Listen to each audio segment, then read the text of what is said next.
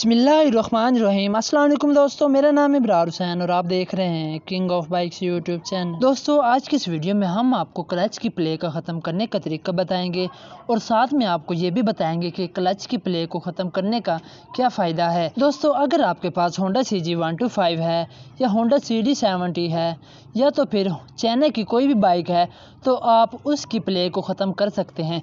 Play ख़त्म करने का आपको ये फ़ायदा होगा, एक तो आपकी बाइक का जो क्लच होगा वो बिल्कुल नरम हो जाएगा, ऐसे हो जाएगा जैसे कि न्यू बाइक का होता है। अगर आपकी बाइक का गेयर मुश्किल से निकलता हो तो आप प्ले वाशर डालें इन ठीक हो जाएगा। अक्सर बाइक चलाते हुए क्लच के ढीलेपन की वजह से क्लच में से जो आवाज़ आती है तो उसके लिए आप बहुत परेशान होते हैं और फिर आप क्लच के ऊपर हाथ रख लेते हैं, जिसकी वजह से क्लच का शोर ख़त्म हो जाता है। अगर आप इस शोर से परेशान हैं तो क्लच की प्ले वाशर को डालें इन शोर ख़त्म हो जाएगा और क्लच को प्रेस करने में आपको बहुत मज़ा आएगा। क्लच की प्ले को ख़त्म करने के बाद फिर आपने केबल के अंदर साफ़ ऑयल डालना है और साफ़ ऑयल डालने के बाद आपने उसको फिट कर देना है। अगर क्लच ढीला है तो आपने टाइट कर देना है। वीडियो अगर अच्छी लगी हो तो लाइक, शेयर ज़रूर कीजिएगा।